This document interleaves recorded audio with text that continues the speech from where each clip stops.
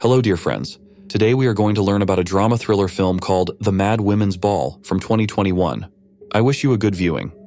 Eugenie, along with thousands of people, sees the famous writer Hugo to his last journey. During the ceremony, the girl has a seizure, but manages to stop it in time. Late for dinner, Eugenie lies to her parents that she was visiting a friend. Only her brother Théophile smiles calmly, realizing that his sister is not telling the truth. To change the subject, the boy starts talking about the upcoming debate, and Eugenie asks permission to attend the event with her brother. But the father sharply refuses, reminding her that a lady cannot participate in such things. Before going to bed, the girl goes to the bathroom and has another seizure, during which she talks to someone. But Eugenie comes out of it again, noticing her grandmother at the door, waiting for her granddaughter for the regular evening ritual. In the morning, Théophile is going to the debate and finds his sister in his carriage, whom his father has strictly forbidden to go, but the girl is not going to the debate, but only asks her brother to give her a ride to the outskirts of town, where she can read a book and smoke away from her strict parents. Although the boy is not happy about this idea, he cannot refuse his beloved sister. After buying a fresh bun, Eugenie walks into a simple coffee shop where she reads poetry while sipping a cigarette and looking at the guy at the next table. Noticing this, the stranger strikes up a conversation and lends her a book about perfumery, leaving a note with his name on the first page. He makes her promise to meet him someday to return the book. In the evening, while reading the book, Eugenie does not tell her brother about her meeting with the stranger. The brother, with his head on his sister's lap, listens to her read the book. The next day, the family arrives at the neighboring estate where Théophile Fiancé lives. This union is very important to the father, and he is extremely unhappy when Eugenie starts insulting the young girl again. This causes a conflict in the family. On Christmas Eve, Eugenie and Theo put up the Christmas tree, and the young people go up to the attic to get decorations. At this point, the girl has another seizure, and she confesses to Theo that she now sees many different spirits, not just one man, as before. Eugenie talks frankly with her brother and asks him not to be afraid, because the book that the guy in the cafe lent her says that there are many people like Eugenie. The girl goes back to her grandmother's bedroom to comb her hair and put her to bed, but at some point she drops everything she is doing and starts rummaging through the closet. From there, she pulls out a pendant that her relative lost 40 years ago. When her grandmother asks her how she knows about it, the girl admits that her late grandfather told her about it. In the morning, her mother wakes her up and tells her that she and her father are going to the neighboring estate again. The woman asks her daughter to behave well and not say anything unnecessary.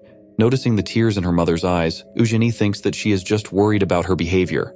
So, hugging her mother, the girl, unsuspectingly, prepares to leave. Eugenie notices a traveling suitcase at her father's feet and realizes that they are not going to visit.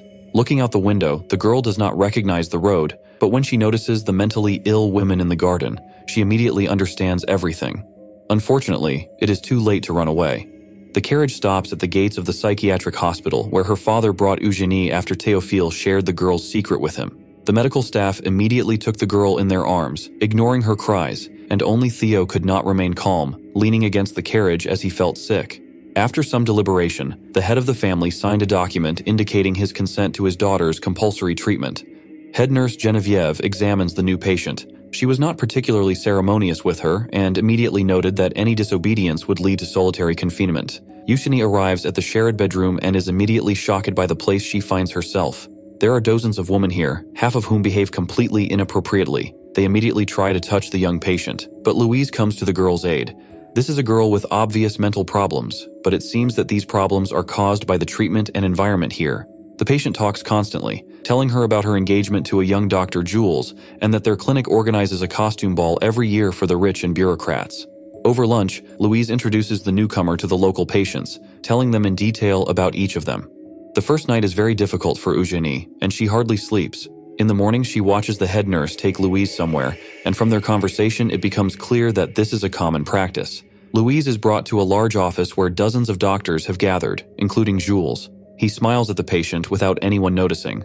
The head doctor of the hospital, Dr. Charcot, begins the hypnosis session, and when the girl falls to the floor, he calmly steps over her and says goodbye to everyone. Before the next procedure, the patient is transferred to the infirmary, where she regains consciousness. She is visited only by Dr. Jules, who escorts the medical staff out and, taking advantage of the girl's naivety, tells her that he will soon propose to her at a costume ball. After that, the doctor puts one hand under the girl's dress and does something pleasant for himself with the other.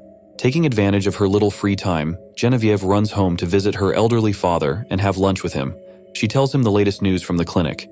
Back at work, Genevieve goes up to check on the new girl, and Eugenie addresses the nurse on behalf of Blondo, her dead sister. The woman doesn't want to hear or believe what the crazy woman is saying and orders her to shut up. The doctor examines the patient and prescribes treatment with cold water and ice, which finally breaks the girl. Theo looks for Genevieve and asks her to help Eugenie. He admits that he is very sorry for what he has done. The man asks the doctor to give the girl a book. After some thought, the staff member tells Eugenie about the situation and Theophile's visit, but agrees to give her the book only if she contacts her deed sister and helps them talk. One night, Genevieve wakes the patient and brings her to her office, where she plans to witness the ritual. For a long time, Eugenie can't get in touch with Blonde, but then the deceased gets in touch and tells her that her father fell ill in their kitchen. Abandoning her business, the woman runs home and finds her father after a seizure. When he asks his daughter how she found out about what happened, Genevieve decides to confess, but all she gets from her father is criticism and accusations of insanity. After another session of hypnotherapy, Louise's legs and half of her body give out. Seeing this, Eugenie can no longer keep silent and tells the doctors everything she thinks about it, not hesitating to say anything and accuse them. For this, the girl is recognized as dangerous and transferred to a solitary dark cell. This ward is headed by the stern Jean. Food is brought to the patient through the window at the bottom of the door. The only windows are opened only from time to time, it seems that all this therapy is only aimed at breaking the patient's will. One day, when Gina comes to Abusi Eugenie once again, the girl tells the nurse that she communicates with Gina's late mother and knows all her secrets. For this, the nurse uses force and releases the girl's neck only when she has no more breath. All this time, Genevieve is thinking about what happened, and, unable to stand it, she secretly tells the girl that she will help her get out of the clinic. All she needs is a little patience. The nurse convinces Dr. Charcot that the patient has finally lost her will and is no longer dangerous. The doctor then gives permission to transfer the girl back to the general ward, where everyone is preparing for the upcoming ball. Eugenie finds Louise in a wheelchair, but the girl does not lose heart and still believes in her upcoming marriage and a happy future. At night, Eugenie manages to read the note that Genevieve secretly gave her. Theo receives the same secret letter inviting him to the ball. The evening of the ball arrives. Wealthy and influential guests arrive at the clinic, wishing to have fun with the mentally ill patients. Theophile also arrives at the invitation and almost immediately meets his sister. He asks her to dance. Eugenie follows them, suspecting them of conspiring with Genevieve. The fun begins, and some of the guests openly laugh at the strange women. Someone plans to realize their animal fantasies by treating the patients to strong drinks and whispering tender words in their ears. Taking advantage of this, Genevieve manages to get Eugenie and Theo into her office. She changed the girl into her regular clothes and walked with them to the exit. Jules also managed to take advantage of the fun. He took Louise and brought her to an empty office. He told her that he was going to marry her. Realizing that the paralyzed girl could not resist, the doctor threw her on the table, finally achieving what he had dreamed of for so long. One of the elderly patients, who had lived in the clinic for 25 years, burst into the office just as Jules was about to fulfill his wishes in revenge for her husband's infidelity. This did not stop the old woman from beating him on all the important parts of his body. Jean noticed that the patient and her brother had disappeared and rushed to look for them. Noticing the fugitives in the corridor, the nurse started screaming, but Genevieve managed to lead the couple out of the gate, where the crew was already waiting for them. The nurse herself remained on the clinic grounds, refusing to run away with Eugenie. A year later, Eugenie writes a letter to her friend, saying that she is free and living happily away from everyone. She no longer hides her abilities and helps those in need. Genevieve reads it with a smile, sitting on a bench in the clinic's park. But now she walks in this park not as a nurse, but as a patient. This was the price for Eugenie's freedom. If you've watched this video to the end, you should know that I'm glad to have viewers like you. Thank you for watching to the end. Please subscribe to the channel and write in the comments what kind of retelling of the movie you would like to see. This was 18 Recapped. See you in the next video.